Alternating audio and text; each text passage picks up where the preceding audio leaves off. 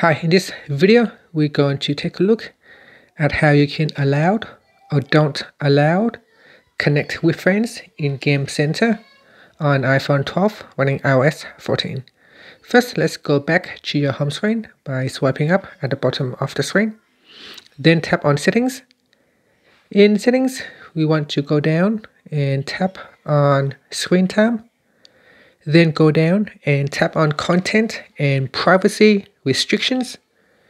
Next, go down and tap on content restrictions. Now we need to put in the screen time passcode. Next, go down and go to the Game Center section and tap on Connect with Friends. And in here, choose Allow or Don't Allow.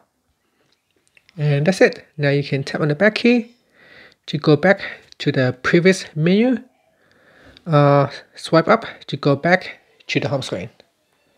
And that's it. Thank you for watching this video.